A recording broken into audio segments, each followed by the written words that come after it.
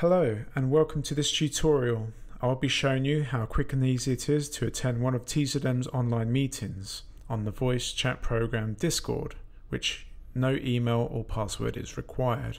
Firstly, click on the invite down below in the description. Alternatively, you can copy and paste the link into a browser. Input a username of what you would like to be called. Tick the box that you have read the terms of service, then select Continue. If you are not a robot, tick the box. It will ask you if you would like to claim your account. If you're not fussed about keeping your chat history with individuals, after you close the browser, then click outside the box or press Escape. As you can see at the top, you can always change your mind before you close the browser. It is advised that you read through the instructions on how to use the TZM server and the rules of conduct.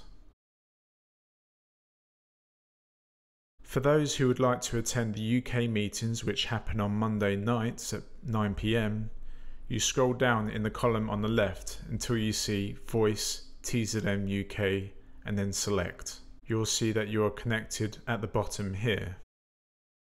Before you unmute your mic and start talking, it is best to prevent any possible background noise which may come through your mic, so it is recommended that you enable the push to talk function. To do this, click on the cog symbol next to your name in the bottom left. Then select voice and video and tick the box push to talk. Click where it says record keybind. Press the key you want to assign when you want to speak. Select stop recording, then press escape.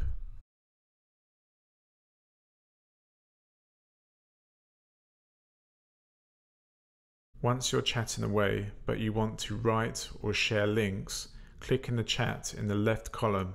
Here you can write, paste links, or even drag and drop pictures. Hope that helps. Thanks for watching.